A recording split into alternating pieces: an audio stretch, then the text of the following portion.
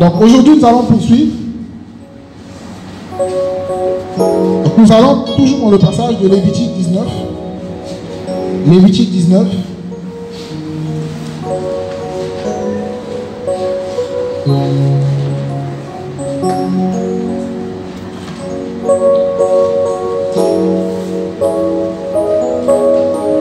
Lévitique 19, le verset 18.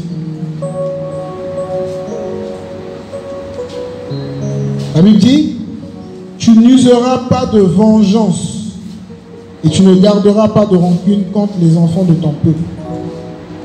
Aujourd'hui, nous allons parler de la vengeance.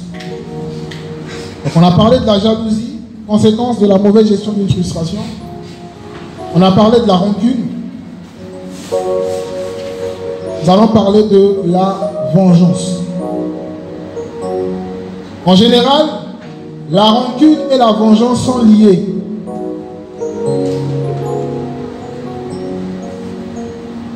On refuse de pardonner, quelqu'un nous a fait du mal, on garde, on a de la rancune et on finit tôt ou tard par se venger. Alors, la vengeance ici, c'est le fait de traiter une personne par rapport au mal que cette personne nous a fait. On traite une personne par rapport au mal que la personne nous a fait. C'est le fait de remettre le mal par le mal. Amen. C'est ça. Se venger. On décide de rendre à quelqu'un le mal parce qu'il nous a fait du mal. C'est la vengeance. Quelqu'un t'a mal parlé. Je prends un exemple simple. Tu vis avec des personnes, des frères, peu importe, dans une même maison. Et euh, tu salues la personne au réveil, bonjour, la personne ne répond pas. Ça te fait mal. Je dis, bon, moi je l'ai salué, il n'a pas répondu. Lui aussi, quand il me saluera, je ne répondais pas aussi. Le lendemain, tu te réveilles, c'est la personne qui te salue. Bonjour, toi tu ne réponds pas. Là, tu te venges. Amen. Je dis, la personne doit sentir ce que moi j'ai éprouvé. Moi, je salue, elle ne répond pas, elle verra aussi. La personne te salue. Toi aussi, tu ne réponds pas. Amen. Un autre exemple. Quelqu'un t'insulte. Toi aussi, tu insultes. On t'a insulté, non? D'accord On t'a injurié. Ça te fait mal. Tu dis non, ça ne se passera pas comme ça. Moi aussi, je, je réponds. Là, tu te venges. Nous sommes dans 1 Thessaloniciens 5. 1 Thessaloniciens chapitre 5.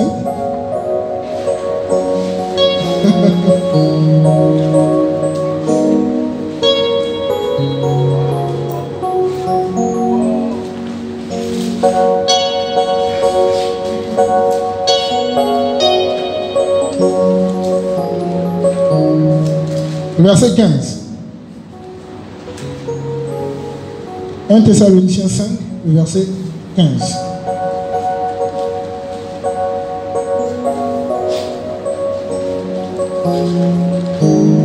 Thessaloniciens 5, verset 15, il est écrit Prenez garde que personne ne à autrui le mal pour le mal, mais poursuivez toujours le bien, soit entre vous, soit envers tous.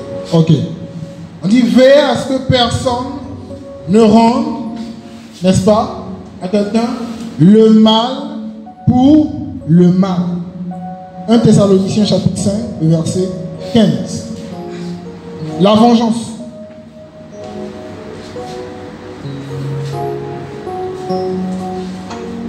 Le fait de faire du mal à quelqu'un parce que la personne nous avait fait aussi du mal. Le fait de mal se conduire ou de mal se comporter avec une personne parce que cette personne s'était aussi mal comportée à l'endroit de notre personne. Ah, avec notre personne. C'est de la vengeance.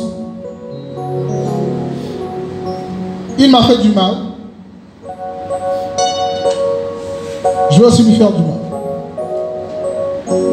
Vous savez, dans la racine hébraïque, ce mot vengeance là que nous avons lu dans Lévitique 19, 18, il y a aussi la notion de la punition.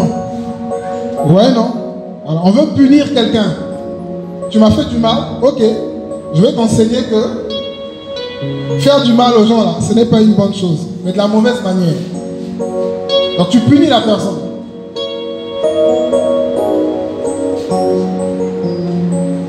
Tu prives la personne de ton bonjour. Parce que la personne t'a aussi privé de son bonjour. Tu prives la personne de ton sourire.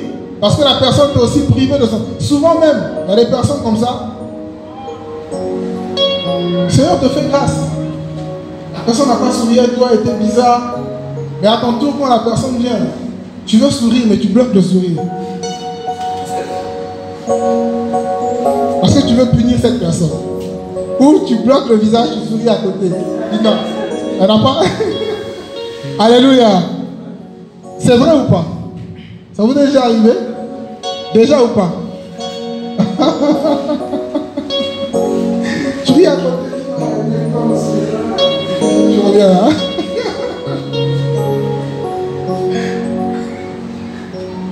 La vengeance. C'est difficile. Personne ne pourra dire, ah, moi là, vraiment la frustration, c'est pas mon souci. Tout ça. Nous sommes dans un monde, nous sommes différents, nous côtoyons des personnes différentes. Vous voyez? Nous serons toujours confrontés à ça. Et il faut savoir comment réagir, comment se comporter. Pour ne pas être souillé. La vengeance. Absalom était dans la rancune, mais il s'est vengé. Amnon avait violé sa soeur. Lui, en retour, qu'est-ce qu'il a fait? Il a ôté la vie. La vengeance. Vous savez que Moïse a été disqualifié à cause de la mauvaise gestion de la frustration. Dans Nombre, le chapitre 20, le Seigneur a dit Moïse, les enfants d'Israël, demandez de l'eau. Hein. Par le rocher couleur. Il était tellement irrité par la pression des enfants d'Israël. Ce n'était pas facile pour Moïse. Ça, il faut le reconnaître. Ce n'était pas facile. Une pression, mais incroyable. Alors, qu'est-ce qui va se passer? Moïse, irrité, au lieu de parler au rocher, il va frapper le rocher. Mauvaise gestion de frustration. Le Seigneur dit, ok, comme tu as refusé de me sanctifier devant les enfants d'Israël, tu ne rentreras pas. Tu verras, mais tu ne rentreras pas dans la terre promise. On n'a pas vu ça comme ça. Moïse était frustré. Et il a mal géré sa frustration. Oui. Mais le peuple à qui tu parles comme ça, c'est mon peuple. Même si c'est... oh Seigneur. Disqualifié. Moïse. La vengeance.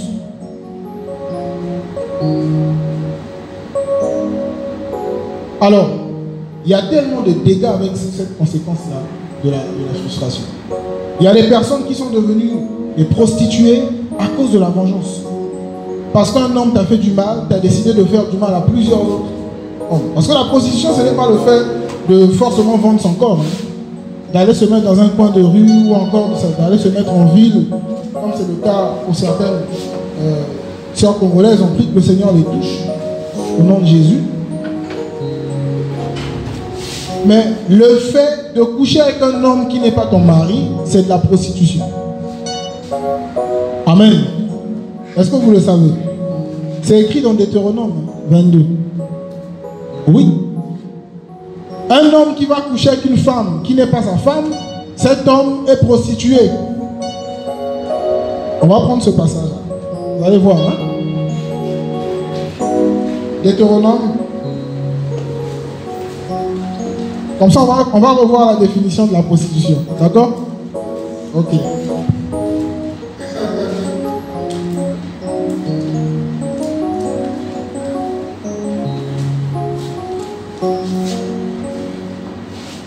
Alors, à partir du verset 13, Deutéronome 22, à partir du verset 13,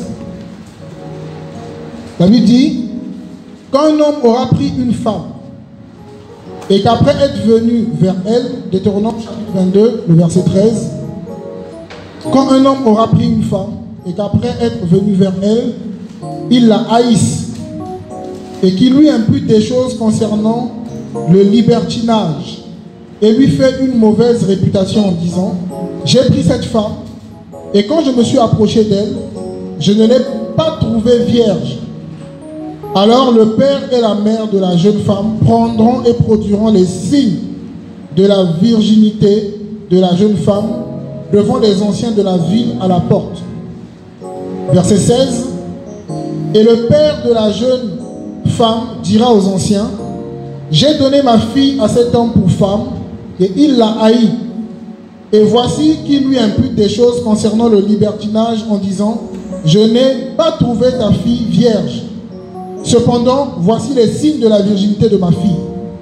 Et ils étendront le drap devant les anciens de la ville. Alors les anciens de la ville prendront le mari et le châtieront. Et parce qu'il aura répandu une mauvaise réputation sur une vierge d'Israël, ils le condamneront à une amende de 100 cycles d'argent qu'ils donneront au père de la jeune fille.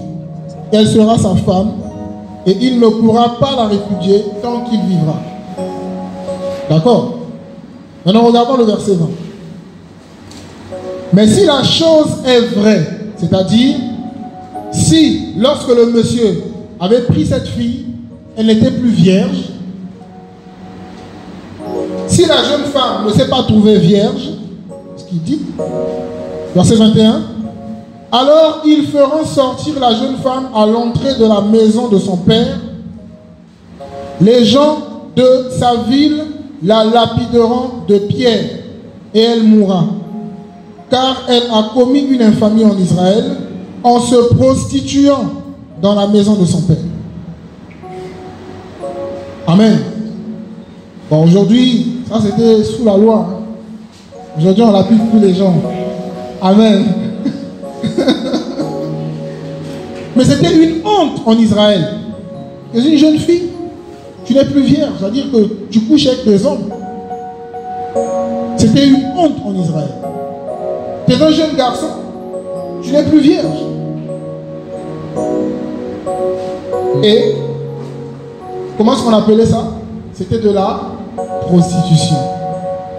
Donc une prostituée, c'est une femme qui couche avec un homme qui n'est pas son mari, ou avec des hommes qui ne sont pas. Voilà, enfin.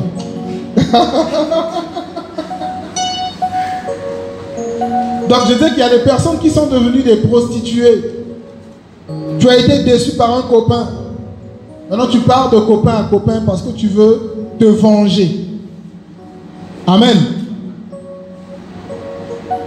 Il y en a qui, dans leur péché, ont contracté le virus VIH.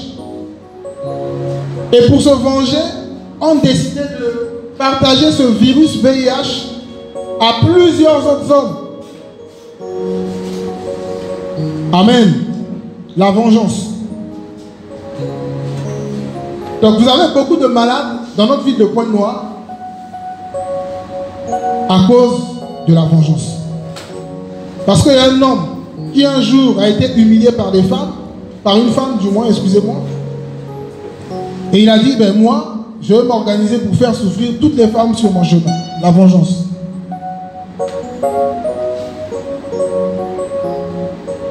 Parce que quelqu'un a été humilié par un homme ou une femme d'une certaine ethnie. Toutes les fois que j'aurai l'opportunité de rencontrer une personne issue de cette ethnie, je ferai souffrir cette personne. Alléluia. La vengeance. Ah, j'avais un ami comme ça dans le monde. Il avait un homme qu'il aimait beaucoup, qui est allé étudier au Cameroun. Malheureusement, ce dernier a été tué comme un animal par des Camerounais. Blessé, frustré. il a décidé de manifester de la haine à l'endroit des Camerounais. Au point où il y avait un jeune garçon dans le quartier à l'époque était camerounais. Et il pouvait, il pouvait souvent parler avec une telle haine à ce dernier. Et en signant à la fin, les Camerounais ont tué mon oncle. Qu'est-ce que les Camerounais lui ont fait?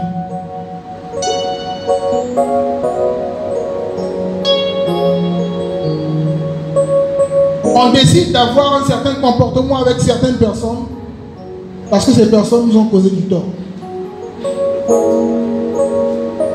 Pour punir ces personnes. Comme j'ai dit, il y a des jeunes filles qui ont décidé de soi-disant punir les hommes, mais malheureusement deviennent des prostituées. tu vas de petit copain à petit copain, tu te dis que je blesse celui-ci, je blesse, quand ils se battent pour toi, tu es content. Bon, tu vas de petite copine à petite copine parce que tu as été humilié par une fille. Quand les copines se battent, toi tu es content. Bon, qui perd dans tout ça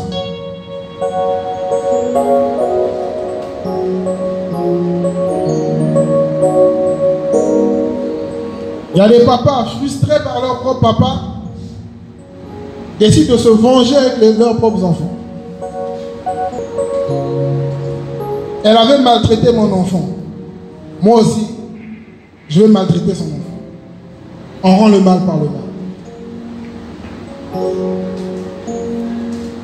Et malheureusement, même dans l'église, on retrouve de la vengeance. C'est-à-dire, là où on est censé retrouver l'amour, la paix, la crainte du Seigneur, la grâce du Seigneur, on retrouve des personnes qui, à cause des blessures, décident de punir certaines personnes de leur assemblée locale.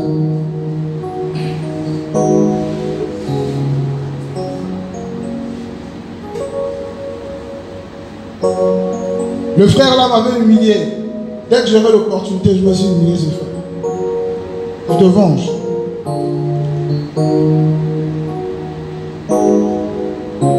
On va prendre ensemble un passage dans Romains 12. Allez voir. Romains chapitre 12. C'est vraiment un sujet qui concerne tous les hommes, n'est-ce pas? Alléluia. Ça ne concerne pas seulement les chrétiens, hein. ça concerne tout le monde. Mais le Seigneur gère ce problème différemment. Nous parlerons de l'importance des frustrations. Pourquoi est-ce que le Seigneur permet souvent que nous soyons frustrés en tant que chrétiens? Alors, Romains chapitre 12.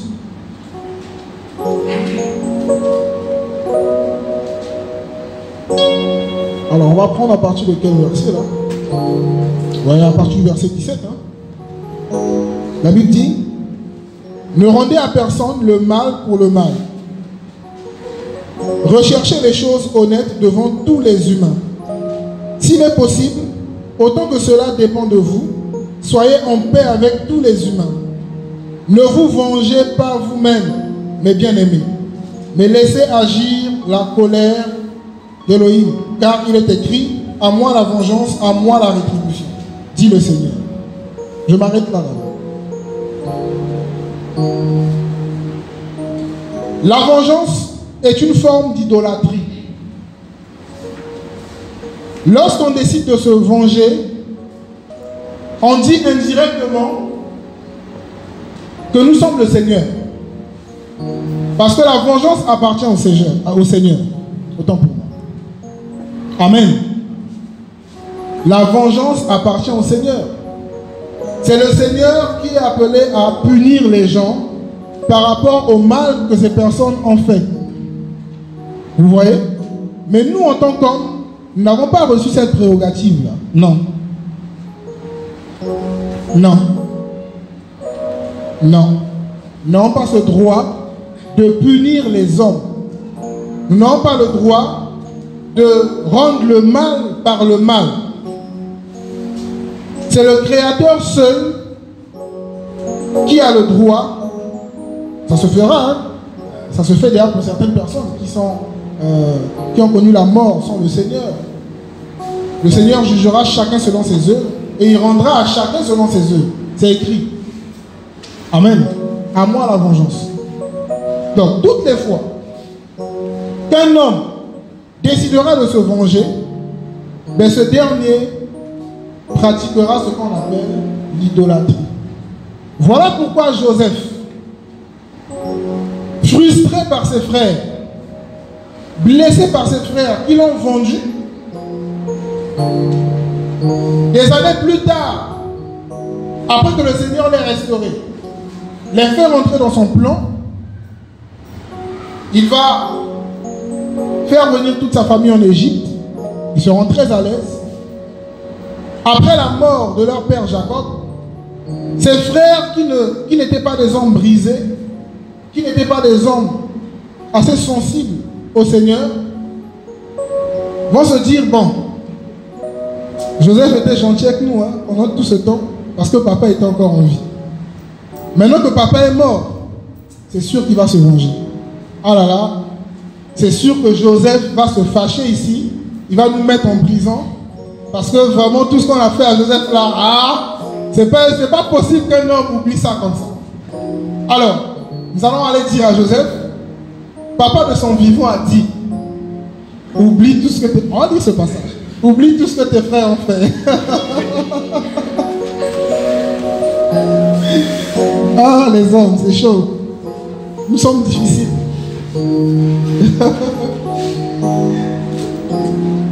Alors, nous sommes dans euh, Genèse chapitre 50.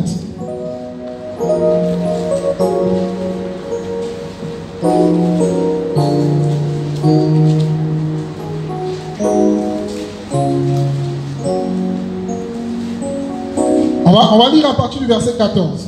Genèse 50, à partir du verset 14.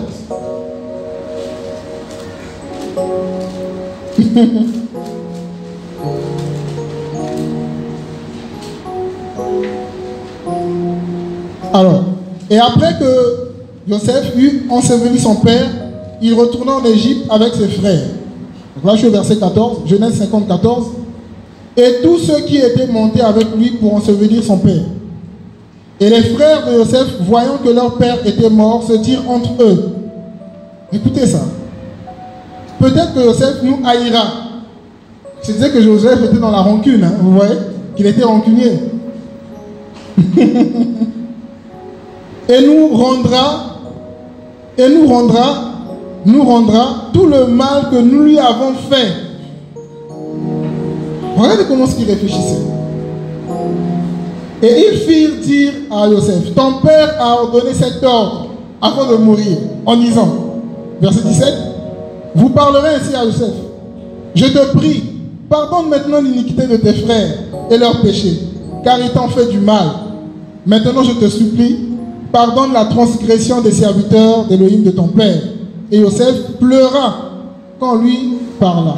Regardez la réaction de Joseph. Il avait oublié ça.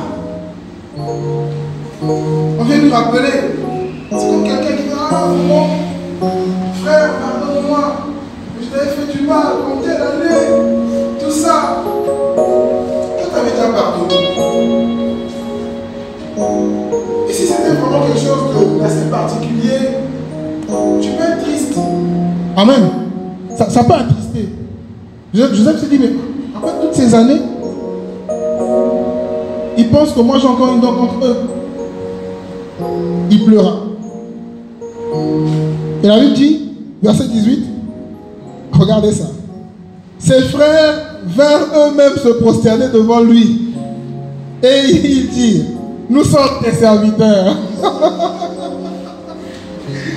ah, c'était la prise de finition.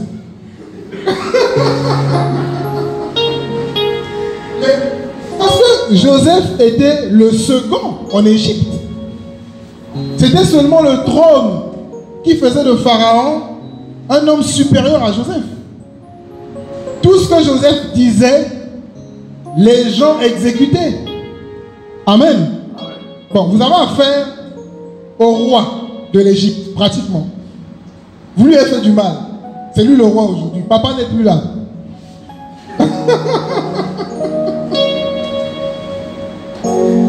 Regardez ce que Joseph dit. Verset 19. Et Joseph leur dit, n'ayez pas peur, car suis-je à la place d'Élohim? Car suis-je à la place du Seigneur? Parce que c'est le Seigneur qui venge.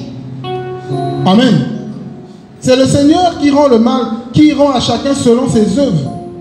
Vous êtes dit non, mais je ne suis pas à la place du Seigneur. Suis-je à la place du Seigneur? Le mal que vous comptiez me faire, Elohim, comptez en faire une bonne chose pour accomplir ce qui arrive aujourd'hui, pour faire vivre un peuple nombreux. Maintenant, soyez donc sans crainte. Je vous entretiendrai, vous et vos familles. Et il les consola en parlant à leur cœur. On parlera de Joseph lorsqu'on abordera la bonne, lorsqu'on parlera de la bonne gestion des frustrations. Il y a beaucoup de choses à dire par rapport à ce sujet. On parlera de David, on parlera de Joseph, on parlera de plusieurs personnes comme ça. Donc, se venger, c'est prendre la place du Seigneur. Suis-je à la place du Seigneur? Vous m'avez fait du mal. Le Seigneur a transformé ce mal en bien. C'est la maturité. Vous m'avez vendu. Vous m'avez insulté. Le Seigneur s'est servi de toutes ces choses pour m'emmener vers le plan qu'il avait tracé pour moi. Soyez en paix. Il va consoler ses frères. Amen. Il va parler à leur cœur. Donc, lorsqu'on se venge, on est dans l'idolâtrie. On prend la place du Seigneur. C'est un grand péché. Donc si quelqu'un s'est comporté d'une certaine manière avec toi, ça t'a fait mal. Ça m'a fait mal. Je n'ai pas le droit, tu n'as pas le droit de rendre le mal pour le mal.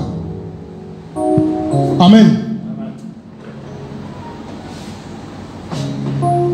Ah non, mais tu n'as pas vu comment il m'a parlé. J'ai le droit de le faire. Tu n'as pas le droit. Seul le Seigneur a le droit de punir les hommes.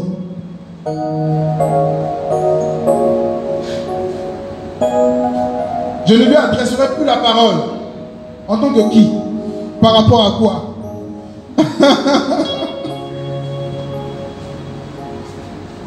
Le Seigneur ne nous donne pas ce droit-là, mes bien-aimés. Non. Ta maman s'est mal comportée avec toi, tu n'as pas le droit de lui parler d'une certaine manière. On parlera de ça tout à l'heure. Nous allons parler de la rébellion tout à l'heure. Donc on a parlé de la jalousie, de la rancune, là de la vengeance. Nous parlerons aussi de la rébellion. L'une des conséquences liées à la mauvaise gestion d'une frustration.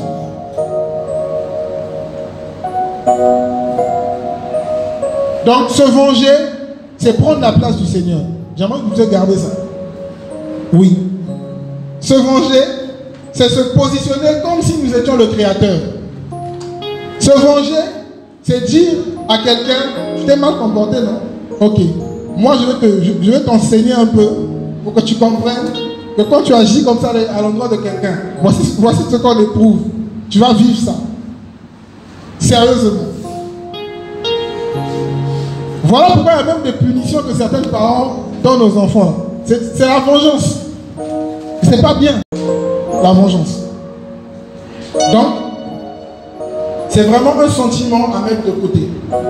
Amen. Voilà. Et quand on poursuit le passage, nous avons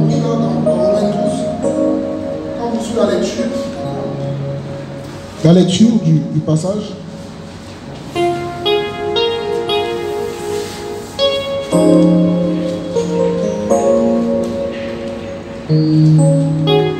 Alors on nous dit quoi? Au verset 20. On a lu le verset 19. Hein?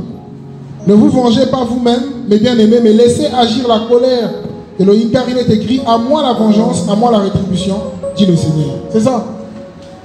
C'est le Seigneur qui doit le faire, pas nous. Vous voyez? C'est difficile, hein? Mais le Seigneur nous aide. Si donc ton ennemi a faim, donne-lui à manger. S'il a soif, donne-lui à boire. Car en faisant cela, tu amasseras des charbons ardents sur sa tête. Ne sois pas surmonté par le mal, mais surmonte le mal par le bien. Voilà. Surmonte le mal par le bien. Donc la vengeance est une œuvre de la chair, la vengeance est une œuvre démoniaque. Dernièrement, je disais que Satan est le plus grand mauvais gestionnaire de frustration. Satan est jaloux. Satan est rancunier. Satan se venge. C'est la raison pour laquelle il fut chassé du ciel, à cause de la jalousie. Vous le savez, non? Il convoitait la position du Seigneur. Pourquoi est-ce que c'est le Créateur qu'on adore? Pourquoi est-ce que c'est lui qui reçoit tout l'honneur? C'était tout le problème de Satan. Il était frustré. C'est à cause d'une frustration mal gérée que Satan a quitté le ciel. C'est aussi à cause d'une frustration mal gérée que plusieurs personnes rateront le ciel. Amen. Donc, lorsque les hommes gèrent mal les frustrations, Satan est content. C'est comme certaines personnes. Tu passes un examen, tu ne l'as pas eu, tu as raté. Quand tu apprends qu'il y a d'autres personnes proches de toi qui ont aussi raté, ça te console. Je dis que tu n'es pas seul, quoi. Mais si jamais toutes ces personnes ont eu l'examen, tu allais t'attrister à fond. ouais, Satan est comme ça. Il dit, oh, je ne suis pas le seul. L'autre aussi, oh, il est jaloux, hein, c'est bon. oh, la fille là s'est vengée, c'est top. Je ne suis pas le seul. c'est une réaction démoniaque en fait. Vous voyez? Tu as manqué l'examen, l'autre a eu. Réjouis-toi. Si tu es triste, c'est que tu es jaloux. Amen. C'est difficile, mais c'est la vérité. Hein. C'est ce qui est écrit. Avoir les sentiments qui étaient en Jésus, c'est une œuvre de l'Esprit du Seigneur. Amen. Ouais. Des sentiments purs. L'autre a eu, tu n'as pas eu. La Bible dit, réjouissez-vous avec ceux qui se réjouissent. Tu te réjouis.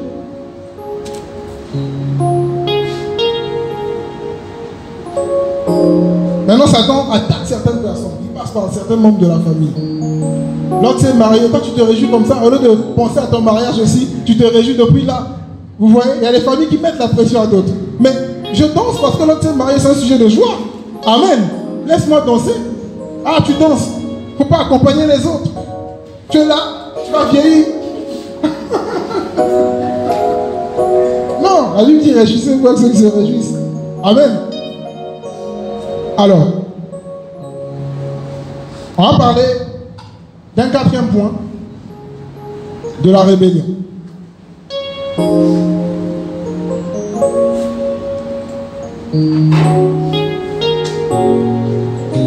La mauvaise gestion de la frustration peut avoir aussi pour conséquence la rébellion. La rébellion vis-à-vis -vis du Seigneur, mais aussi la rébellion vis-à-vis des personnes qui sont appelées à exercer une certaine autorité dans notre vie. Les parents, les aînés, etc. Lorsqu'on parle de rébellion, on parle de désobéissance. On parle de manque de soumission. On parle même aussi de dispute. Là où, en temps normal, il ne devrait même pas avoir une dispute. Un rebelle, c'est quelqu'un qui est désobéissant. Un rebelle, c'est quelqu'un qui n'est pas soumis. Un rebelle, c'est quelqu'un qui dispute pour, pour un rien. Exemple, maman appelle le petit frère pour l'envoyer à la boutique à côté. Le petit dispute. Ah, maman, tu me déranges, je joue à la PlayStation. Ah, maman. Là, c'est de la rébellion. Amen. Est-ce que vous le savez? Alléluia. C'est vrai ou pas? Pourquoi tu disputes? On t'envoie pour que tout le monde ait à manger le soir. Toi, tu refuses à cause de la PlayStation. C'est comme si le Seigneur, par ordre de priorité, avait d'abord établi le fait que toi, tu joues à la PlayStation avant que tu n'ailles acheter quelque chose lorsque maman t'enverra. La rébellion nous emmène à renverser l'ordre de priorité.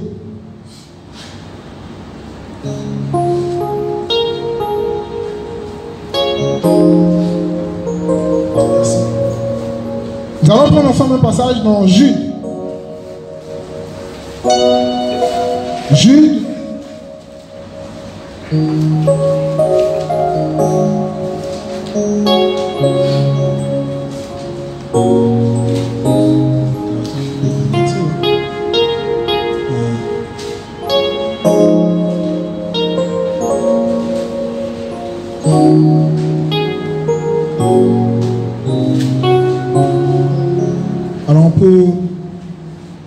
À partir du verset, le verset 11. hein. Ouais. La Bible nous dit quoi ici? On nous dit Malheur à eux, Jude, il y a un seul chapitre, hein, Jude, euh, verset 11. Malheur à eux, car ils ont suivi la voie de Caïn. Ils se sont jetés dans l'égarement de Balaam pour une récompense. Ils ont péri par la rébellion de Corée. La rébellion de Corée. C'est une histoire que l'on retrouve dans Nombre le chapitre euh, 16, du verset 1 au verset 35. C'est- tellement lent, je vais simplement résumer, expliquer. La rébellion de Corée. Corée était un enfant d'Israël, issu de la, tribu de Lévi.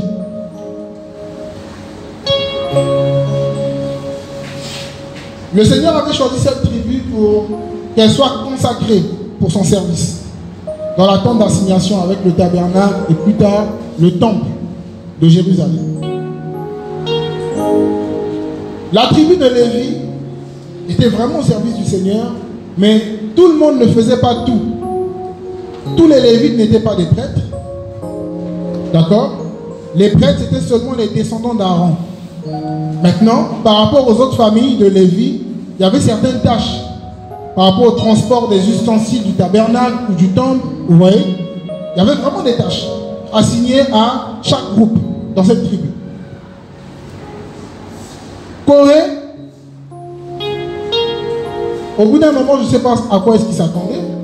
Peut-être qu'il voulait occuper le rang d'Aaron et ses descendants, frustré par le fait que ce n'était pas le cas, va se révolter, va se rebeller contre le Seigneur, mais aussi contre Moïse et Aaron.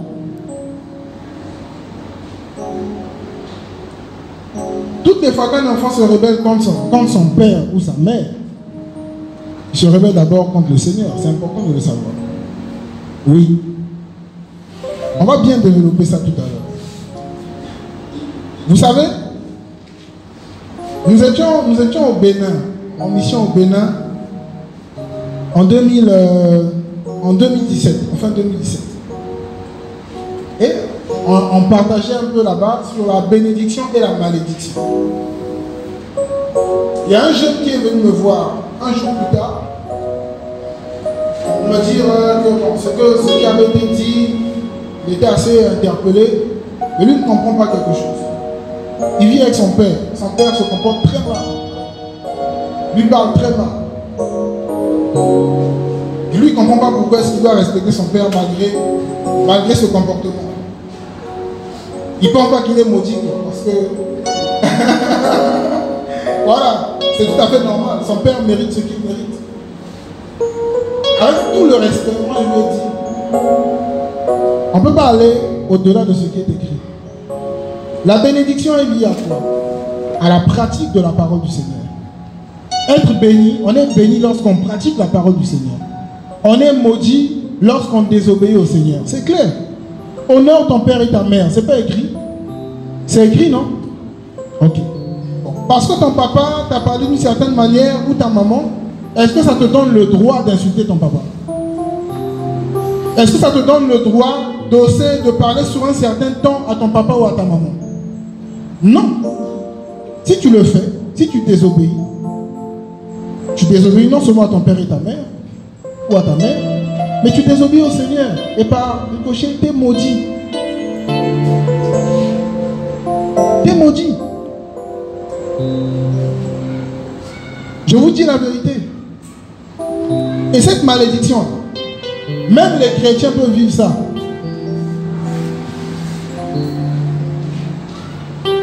On dit c'est le seul commandement qui a, auquel est attaché une promesse pour vivre longtemps sur la terre.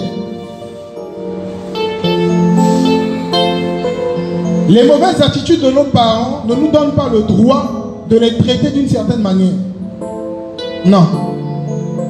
Regardez l'attitude de David à l'endroit de Saoul. Saoul s'est mal comporté avec David, non Est-ce que David a déjà insulté Saoul quand on lit la parole? Jamais. Et vous connaissez que Saoul était non seulement le roi, était une autorité, il n'a pas voulu se rébeller, mais il était aussi comme un père pour lui. Vous voyez? La rébellion. Tu es frustré, tu décides de désobéir. Tu décides de ne plus te soumettre au Seigneur. Parce que tu estimes que la promesse du Seigneur a trop duré. Pourquoi est-ce que le Seigneur accorde certaines choses aux autres et pas à moi? Non, Seigneur, je prie plus.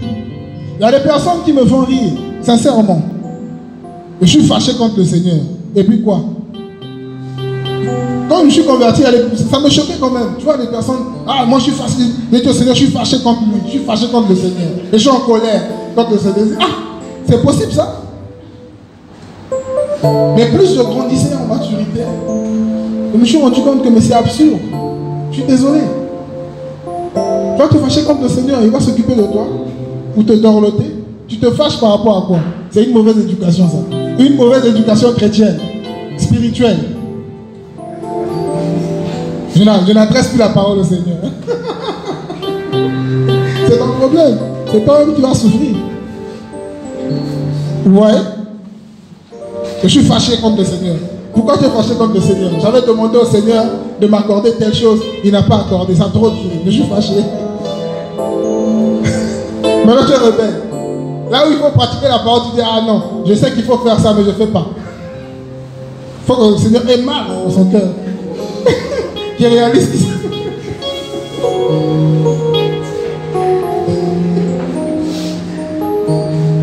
C'est ça, même avec les parents. Il faut que papa réalise qu'il ne s'est pas bien comporté. Il va m'appeler, il va, je vais me comporter comme ça. Ça va faire mal. Après, il viendra. Vous voyez, non? Maman t'envoie, non, je ne veux pas. Pourquoi? J'ai pas envie. Toi qui étais soumis avant, parce que tu es frustré, tu es maintenant rebelle.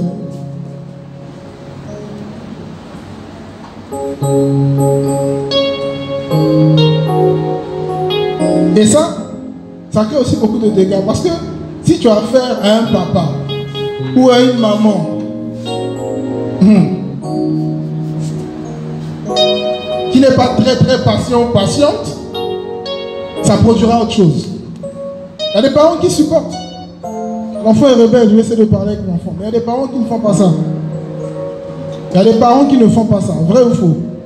Tu commences à faire ça, lui aussi il est frustré, et puis il se venge. Comme quoi? C'est ça. Prends tes affaires, sors de chez moi. Frustré encore. Voyez? La rébellion vis-à-vis des aînés dans la foi. La rébellion vis-à-vis des grands frères dans la famille. Nous sommes dans une génération où le respect n'est plus vraiment au rendez-vous. Vous voyez? Quand on voit des enfants qui naissent aujourd'hui, on se pose des questions. Nous, à l'époque, On a grandi avec des tontons, avec des yayas. Moi, je suis l'avant-dernier de ma famille, de 8, enfants. Je suis l'avant-dernier. Des yayas. C'est le respect. Tonton, tu ne veux pas tenir la main de tonton comme ça? C'est le respect. Mais aujourd'hui, la jeunesse a perdu ça.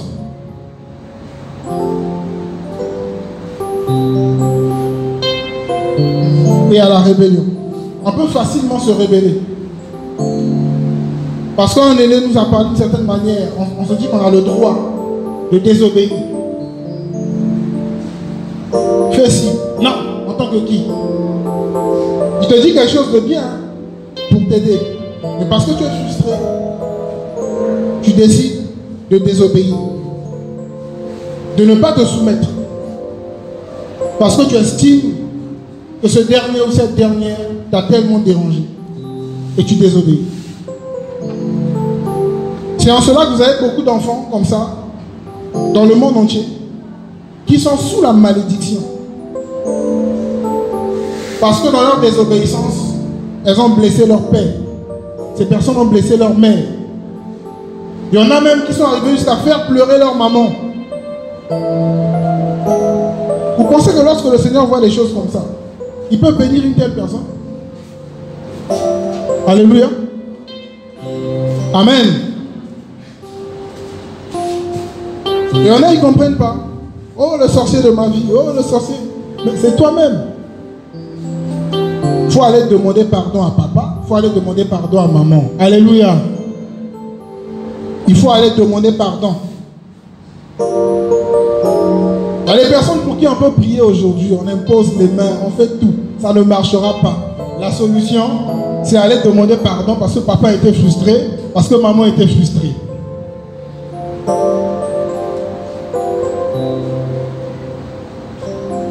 Lui, sa rébellion, c'était vraiment à l'extrême. Malheureusement, le Seigneur les a tous engloutis. La Bible nous parle de la rébellion des enfants d'Israël dans Nombre 12 par là. Nombre 12, Nombre 13. Moïse va envoyer 12 espions dans la terre promise pour explorer un peu. Et au retour, sur les 12, les 10 vont donner un mauvais compte rendu. Là où le Seigneur veut nous envoyer à des géants.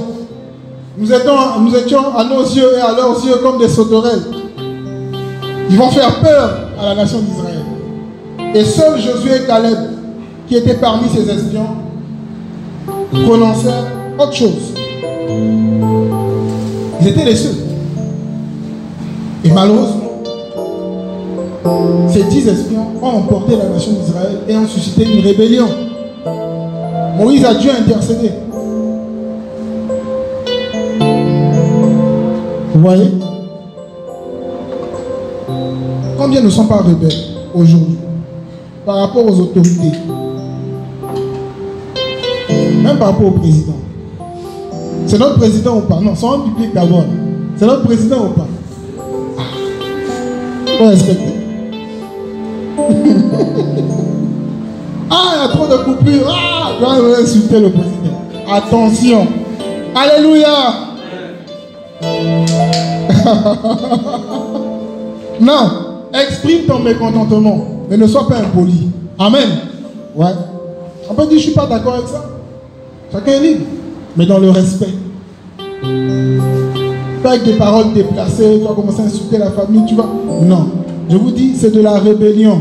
Ce sont des petites choses. Plusieurs ne comprennent pas. Oh, ma vie chrétienne, ma vie spirituelle, ma marche, c'est quoi le blocage? Ce sont des choses comme ça. Parce que le monsieur de qui tu parles, c'est le papa de quelqu'un ou pas?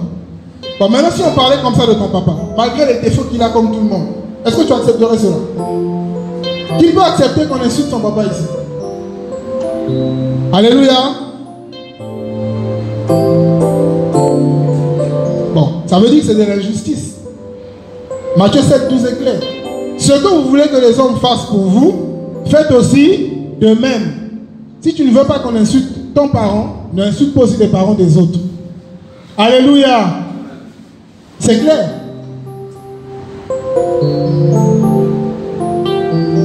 La rébellion. Alors, regardez le nombre de rebelles qu'il y a. Gens sont frustrés. Les situations ne changent pas. On est frustré. Ah, c'est compliqué. Oh, c'est difficile. Ah, c'est grave.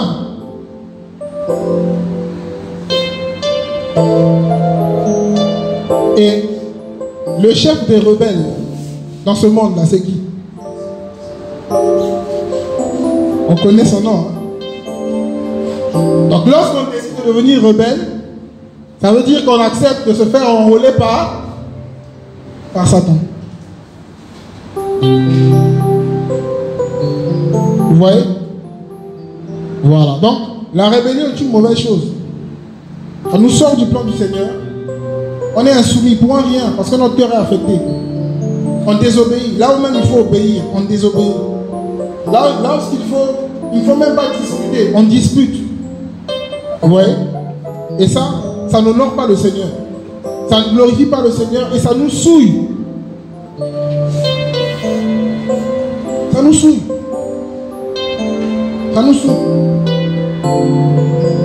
Vous voyez? Et ça constitue même un obstacle à l'évangélisation. Tu es rebelle, tu vas prêcher l'évangile au monde de ta famille. Ils ne vont pas accepter. Vous voyez? Alors, ça va pour tout le monde? Ok.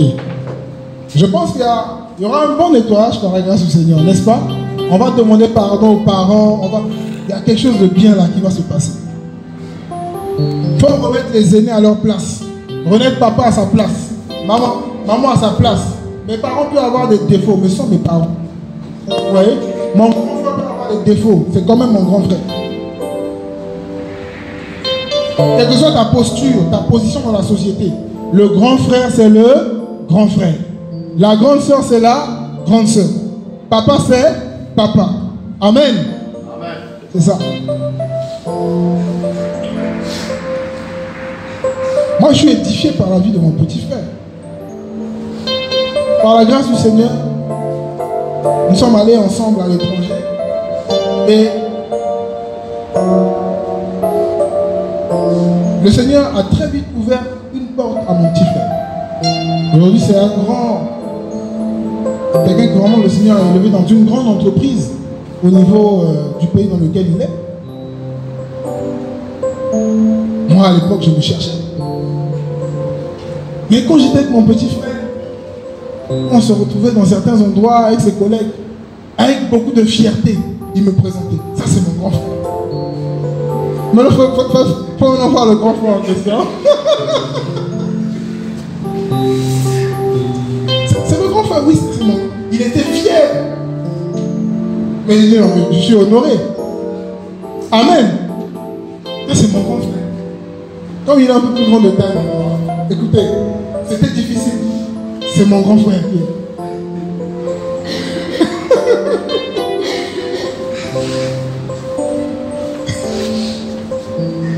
Vous voyez ce que ça fait? Ouais. Ça, c'est ma mère. Ça, c'est mon père. Mon frère. Ça touche les cœurs, ça restaure, ça consolide les relations et ça glorifie le Seigneur. Amen. Ça glorifie le Seigneur. Donc, plus de rébellion au nom de Jésus. Amen. Quelle que soit la raison, quelle que soit la cause, on refuse. Alors, on va rapidement parler maintenant des conséquences de la mauvaise gestion d'une frustration dans notre vie. Hein. Quand on gère mal une frustration dans notre vie, quelles sont les conséquences que cela peut avoir dans la vie des autres? Amen. Ok, donc Hébreu, on repart dans Hébreu 12. On va terminer avec ce passage. Hébreu 12.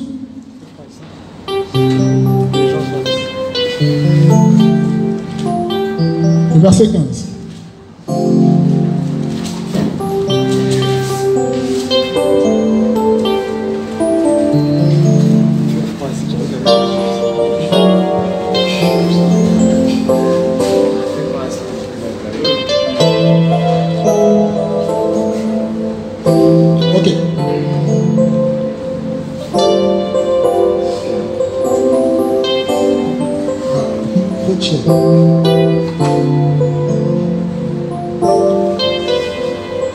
Chapitre 12, verset 15. Veillez à ce que personne ne se prive de la grâce d'Élohim, à ce qu'aucune racine d'amertume ou racine de frustration, poussant des rejetants, ne vous trouble et que beaucoup ne soient souillés par elle. En d'autres termes, que beaucoup ne soient contaminés par elle. Nos frustrations, mal gérées, peuvent avoir des racines. Comme on l'a vu, hein, Absalom. Pendant deux ans, il est la rancune. il, y avait, il y avait des racines, il était enraciné dans ça. Donc il y en a qui sont enracinés dans la jalousie, qui sont enracinés dans la rancune, qui sont enracinés dans la rébellion, qui sont enracinés dans la vengeance. Et ça porte des fruits. Alors des mauvais fruits. Les fruits ici sont des réactions liées à tous ces mauvais sentiments. Vous voyez? Et on dit que ça peut contaminer d'autres personnes. Ça veut dire quoi? Ici on dit souiller. Hein. Dans d'autres versions on dit infecter. Ça non? Et que ça infecte plusieurs. Que ça contamine.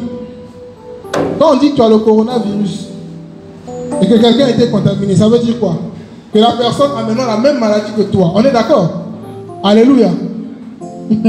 Ça veut dire quoi? Quand on, a de la, rancune dans notre cœur, que ça se manifeste, nous pouvons partager cette rancune à d'autres personnes. C'est en cela que vous allez voir que dans une famille, quelqu'un a eu un problème avec une autre personne et finalement, ce problème va se transférer d'une personne à une autre. Vous allez voir une bonne partie de la famille contre la personne concernée. Alors qu'au départ, ça concernait une seule personne. Mais cette personne a développé sa rancune, a développé sa, mauvaise gestion de frustration et l'a communiqué à d'autres personnes.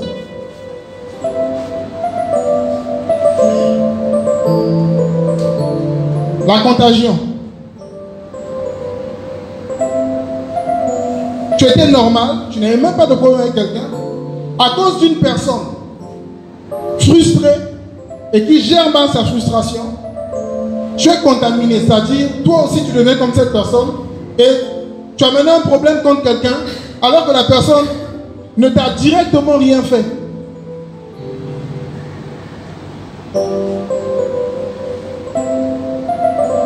La Bible dit que le premier qui parle pour sa cause paraît juste. Quand quelqu'un vient te rapporter une situation, te raconter quelque chose, avec toute sa frustration. En général, on peut se dire, mais oh, la personne la souffre. Elle a mal. Mais l'autre, il est méchant. Comment il peut se comporter comme ça? Il t'a fait ça? Oh non, non, c'est de la méchanceté. Oh, c'est méchant. C'est pas une bonne personne. C'est même pas des personnes à qui il faut adresser la parole. Oh, oublie ça, oublie ça, oublie ça, oublie ça. La personne qui a reçu cette frustration et qui a pris une certaine position va aussi vers quelqu'un d'autre. Oh, tu sais, l'autre est venu me voir, regarde ce que tel a fait. Oh là là là là là là, c'est difficile. Oh, ce sont des agents du diable. Oh, la famille là, il y a des sorts. C'est un sorcier. J'avais remarqué ça? Et ça va se généraliser.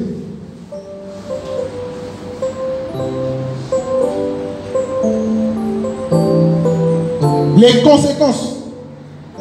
Parmi ces conséquences, il y a la division.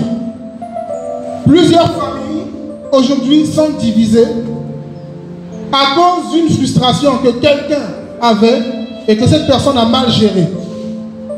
Et ça s'est répandu comme une traînée de poudre.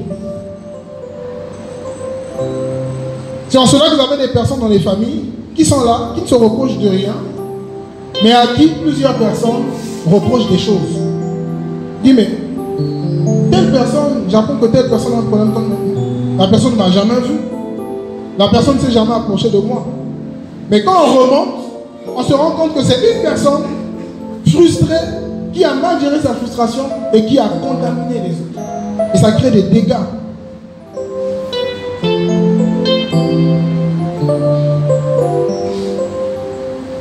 Donc, lorsqu'on gère mal une frustration, non seulement on se détruit, mais on peut aussi détruire les autres. Combien d'églises n'ont pas été divisées à cause d'une frustration mal gérée? Combien de groupes de prière ne sont pas séparés à cause d'une frustration mal gérée? Quelqu'un qui a mal géré sa frustration et a commencé à contaminer les autres. Contaminer les autres.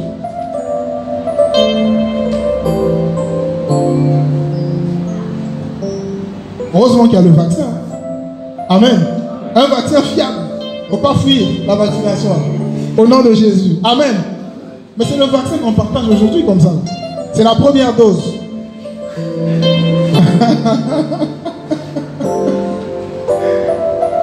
Je vous dis la vérité.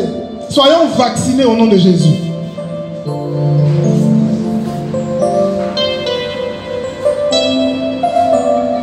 Des familles divisées, des églises divisées, des ministères divisés, même des couples divisés.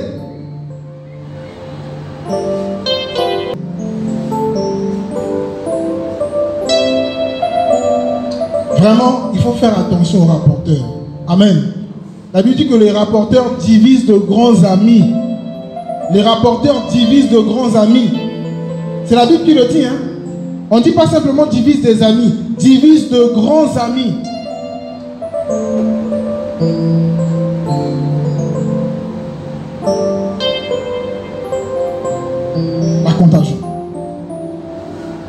Et on le, voit dans la parole. On voit plusieurs cas comme ça. Où des personnes ont pris position. Regardez le cas de Saoul et David. Pensez que parmi les personnes qui poursuivaient David, c'est vrai qu'il y en a après qui sont retractés, mais plusieurs ont eu une mauvaise image de David à cause de la frustration de Saoul. Amen. Plusieurs que David était une mauvaise personne à cause de Saoul. Influencé par Saoul. Surtout les jaloux. T'es jaloux, t'es affecté, t'es frustré, tu manifestes de la jalousie. Et tu commences à mal parler de quelqu'un. Oh, la fille, elle est méchante. Oh, la fille, elle est mauvaise. Tu vois comment elle est là. tu vois la bague qu'elle a là. C'est la franc-maçonnerie. Oh, il y a de nouvelles bagues qui sont sorties. Je ne connaissais pas ça, mais c'est ça. Et ça se répand. Et il y a maintenant des lépreux comme ça.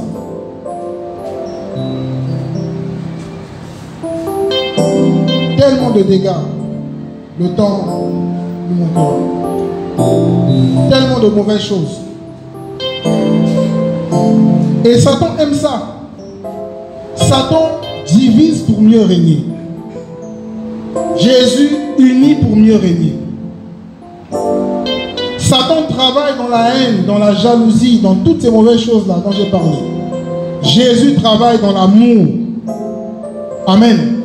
Dans l'amour, dans le pardon, dans la réconciliation. C'est comme ça que Jésus travaille. Voilà pourquoi son Église a reçu un ministère qu'on appelle le ministère de la réconciliation. Le service de la réconciliation. Ça veut dire quoi? Ça veut dire que des problèmes peuvent survenir. Il peut y avoir des problèmes. Mais il y a toujours une solution. Amen. Toujours. La division n'est pas dans le plan du Seigneur. Non. Un couple qui se divise, des frères qui se divisent, des, parents qui se divisent, des églises qui se divisent. Pourquoi? Là où il y a l'esprit, il y a le pardon. Amen. Il y a la réconciliation. On peut se parler, on peut dialoguer, on peut se comprendre par la grâce du Seigneur. Ouais. Et que le Seigneur nous aide. Véritablement. On est tous fragiles, on est d'accord. Mais l'Esprit du Seigneur veut guérir les cœurs brisés. Amen. Il guérit les cœurs brisés. Il restaure les cœurs. Prochainement, nous parlerons de la bonne la On va voir un peu comment est-ce que le Seigneur s'y prend. Avec ceux qui ne le connaissent pas et ceux qui le connaissent. On va voir pourquoi est-ce que le Seigneur permet un certain nombre de choses dans nos vies. Pourquoi est-ce que la frustration sera toujours au rendez-vous dans la vie de tout enfant du Seigneur? On le verra. Après avoir parlé de cette bonne gestion de, de la frustration. Mais voici déjà. L'enjeu repose sur la gestion, sur les réactions que nous pouvons avoir. Si on réagit bien, le Seigneur est glorifié. Si on réagit mal, il n'est pas glorifié. On est souillé. On se prive de la grâce du Seigneur. Et je vais le répéter. Qui parle de la grâce du Seigneur parle du salut. La grâce du Seigneur est source de notre salut. Qui parle du salut parle de la communion avec le Saint-Esprit. La communion avec le Seigneur. Parle du pardon. Dernièrement, on a lu le passage qui dit que celui qui ne pardonnera pas de tout son cœur, le Seigneur aussi ne lui donnera pas le pardon. C'est trop facile de refuser de pardonner à quelqu'un et d'aller demander pardon au Seigneur.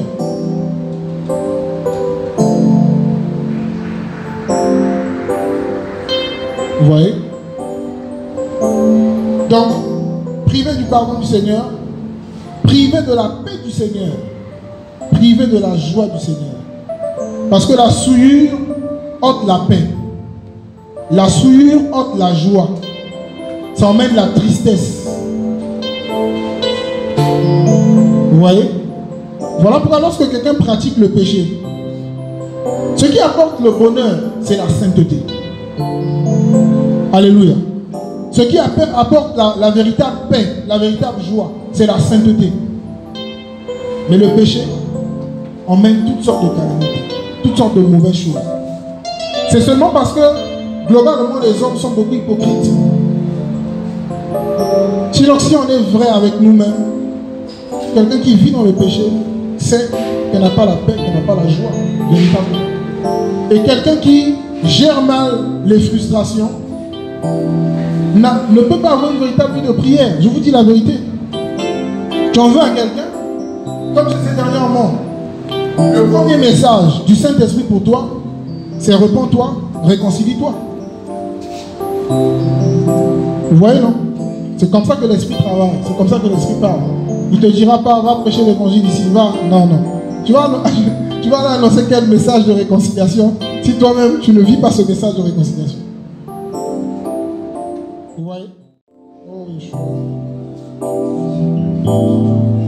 Seigneur, je t'adore pour tout ce que tu es. Oh Yeshua. Seigneur, je t'adore pour tout ce que tu es. Au revoir. Pour tout ce que tu es, reçois